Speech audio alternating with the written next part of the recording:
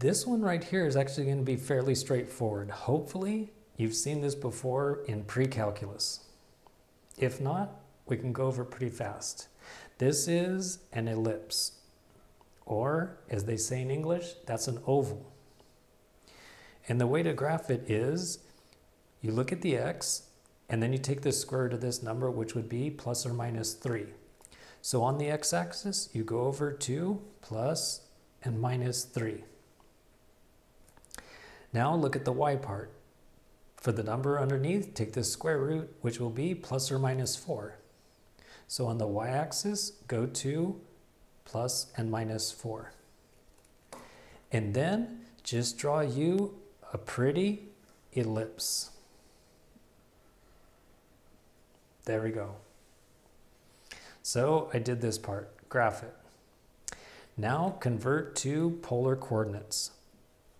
So in the last podcast, number 59, I went over how you get that x is equal to r cosine theta and y is equal to r sine theta. And if you didn't watch it, it's basically just from the very beginning of the semester, use the sine is y over r and then solve for y. Cosine is adjacent over hypotenuse and then solve for x. Now I just need to take these two and plug them in there. So it says x squared, replace that with r cosine of theta, and then it gets squared.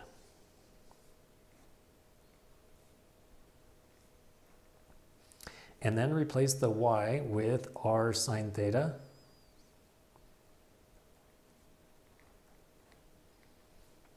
And then it's over 16. Then I should do a little bit of algebra to simplify. So this would be r squared cosine squared over 9 plus r squared sine squared over 16 equals 1. Now because these denominators are different, I can't really simplify I guess I could factor out an r squared since that's common.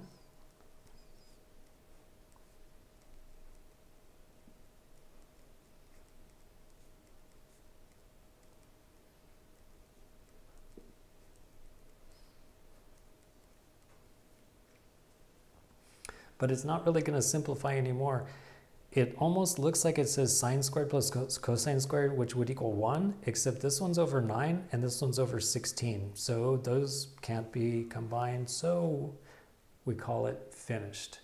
Once you've gotten rid of all the x's and y's, then it's in polar form.